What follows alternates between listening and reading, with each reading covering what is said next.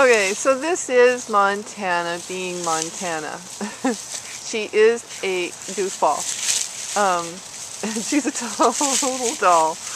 Uh, Montana is a happy-go-lucky, super, super dog-friendly, loves all people puppy, big puppy. She's about 10 months old, 11 months old, and she, um, she is a Rottie Boxer mix.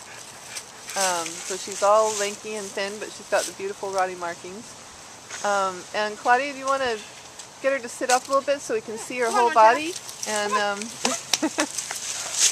and what else can you tell us about Montana? Montana is a super sweet dog-friendly dog. She is great with dogs of all sizes. Um, she loves to go on walks. She would be a great dog to take to the dog park, the dog beach. She's very social and um, she's just wonderful. She knows some commands. She's house trained. She's just a, a great dog. Oh wow, fantastic. Okay, so that's Montana, house trained as well.